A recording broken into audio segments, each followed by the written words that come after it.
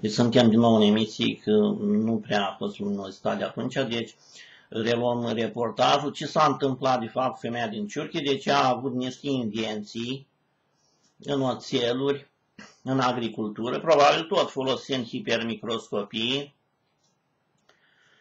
Um, după primul război mondial, a adus pământul uh, aici, să spunem în Italia, dar de aici au zis, lasă, că mai vine încă un război, dul în uh, Statele Unite.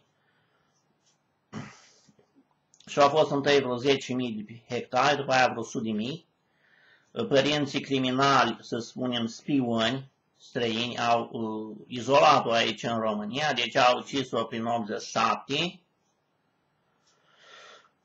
și, bineînțeles, pământul uh, a dispărut, n-a mai primit nimic, deci n-a primit nimic de vreo 60 de ani, 65 de ani, să spunem, din uh, banii ăia.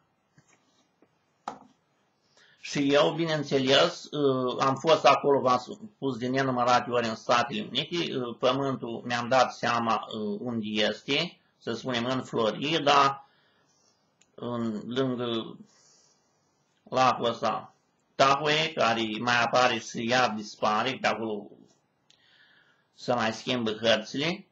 Și uh, era Diane Thompson, recent eliberat din închisoare, atașat militar. Uh, N-au mai dat nimic de atunci, bineînțeles, și uh, atacurile au fost făcute uh, din Statele Unite de agentul ăla Ionescu Radu.